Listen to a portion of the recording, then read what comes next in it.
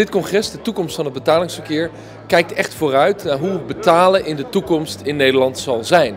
En het leuke is, iedereen is er. Van de banken, de betaalinstellingen, de retailers, iedereen die zich met betalen bezighoudt, is er.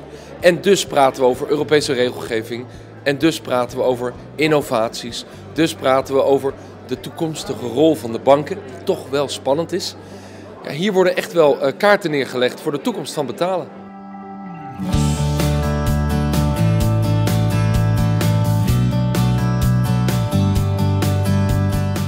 Wat voornamelijk interessant is, is de, de, combinatie van instant payments, het hele snelle betalingsverkeer.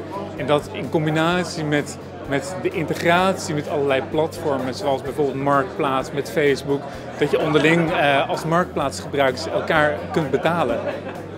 Wat ik verwacht van dit congres is dat ik uh, hier uh, collega's uit het betalingsverkeer van Nederland uh, hier ontmoet, van gedachten kan wisselen, ervaringen uitwisselen.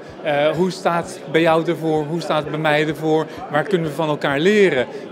welke, welke beren zie jij op de weg en hoe kan ik misschien helpen om die weg te nemen, zodat we samen verder komen?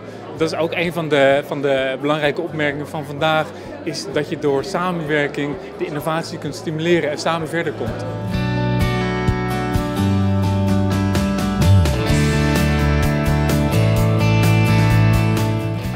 Ik vind het unieke aan het congres dat het uh, een, een, heel uh, vooruitkijkend congres is. Uh, dat het op een zeer creatieve manier het onderwerp wordt behandeld. Er zit veel humor bij, er wordt veel gelachen, maar er zit ook enorm veel expertise. En wat mij ook altijd opvalt als ik weer uit Brussel in Nederland kom, is dat in Nederland erg uh, vooruit gedacht wordt. Door de banken, door de niet-banken. En dat om die reden in Nederland heel veel te leren valt. Ook voor mensen die uit Brussel komen zoals ik, maar ook met name denk ik voor andere lidstaten.